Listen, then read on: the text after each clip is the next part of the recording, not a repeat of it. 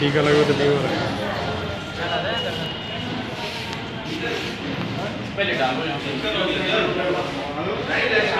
हाँ? वंश कौन से स्कूल में पढ़ते हो? बीमार कैसे हो गए तुम? काय का?